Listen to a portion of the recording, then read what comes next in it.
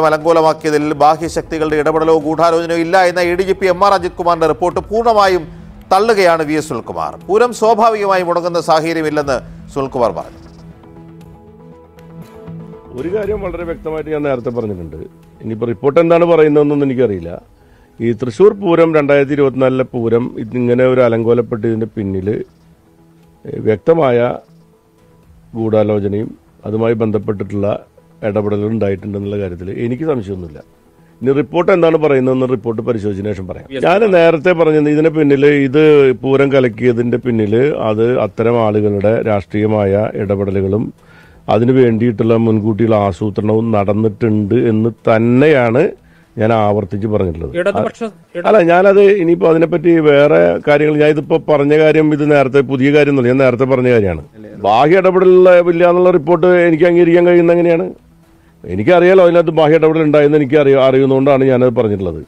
ആ ഇടപെടലെ സംബന്ധിച്ച് ഇനിയിപ്പോൾ ആ റിപ്പോർട്ട് അതില്ലെങ്കിൽ പിന്നെ ബാക്കി റിപ്പോർട്ട് അല്ലെ അന്വേഷണം വേണോ വേണ്ടെന്ന് അപ്പം തീരുമാനിക്കാം.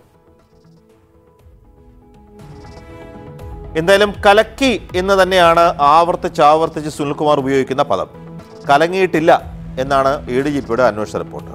കെ ജി കമലേഷ് നമുക്കൊപ്പം- ചേരുന്നുണ്ട്. ടെലിഫോണിൽ കമലേഷ് അതിഗുരുതരമായ ആരോപണം ഉന്നയിച്ചത് ഭരണകക്ഷിയിലെ രണ്ടാമത്തെ പാർട്ടിയാണ് അവിടുത്തെ എൽ ഡി എഫ് സ്ഥാനാർത്ഥിയാണ്.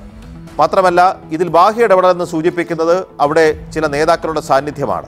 അപ്പോൾ ഒരു രാഷ്ട്രീയ ഗൂഢാലോചനയുടെ ഉപോൽപ്പന്നമാണ് പൂരം കലക്കലും അതുവഴി താൻ രക്തസാക്ഷിയായതെന്നുള്ള വി എസ് സുൽക്കുമാറിന്റെ ആരോപണം ഏതാണ്ട് അടിസ്ഥാനരഹിതമാണെന്ന് സ്ഥാപിക്കുന്നതാണ് എ ഡി ജി പിയുടെ റിപ്പോർട്ടിന്റെ ഉള്ളടക്കം പുറത്തു വന്നിട്ടുള്ളത്.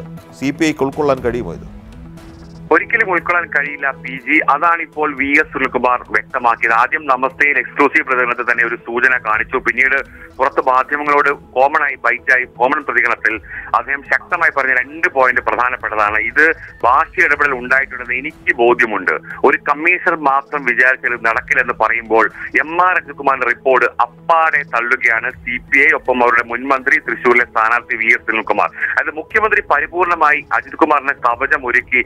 അജിത്ത് സ്വയം രക്ഷയ്ക്ക് വേണ്ടി സ്വന്തം തനിക്കൊരു വീഴ്ചയുമില്ല. എല്ലാ കമ്മീഷണർക്കും ഒപ്പം ദേവസ്വങ്ങൾക്കും മാത്രം കുറ്റം കുറ്റമെന്ന് പറഞ്ഞുകൊണ്ട് റിപ്പോർട്ട് പൊടി തട്ടി കൊടുത്തപ്പോൾ അതിലൊട്ടും തൃപ്തരല്ല സി പി എന്ന് പറയുമ്പോൾ. അത് കൂടുതൽ കുറച്ചുകൂടി കൂടുതൽ പ്രതികരണം സുനിൽകുമാറിന്റെ ഭാഗത്തും ഇന്ന് നമ്മൾ പ്രതീക്ഷിക്കാം. സി പി ഐയുടെ മറ്റ് നേതാക്കളുടെ ഭാഗത്തും പ്രതീക്ഷിക്കാം. ദേവസ്വങ്ങളുടെ പ്രതീക്ഷ ദേവസ്വങ്ങളുടെ പ്രതികരണം നമുക്ക് പ്രതീക്ഷിക്കാം. എന്തായാലും അജിത് കുമാറിനെതിരെ നടപടിക്ക് രണ്ട് റിപ്പോർട്ടായിരുന്നു കാത്തിരുന്നത് മുഖ്യമന്ത്രി. ഒന്ന് പൂരം രണ്ട് ആർ എസ് എസ്. അതിൽ പൂരത്തിൽ അജിത്ത് തന്നെ സ്വയം വെള്ളപൂശി റിപ്പോർട്ട് കൊടുത്തിരിക്കുന്നു.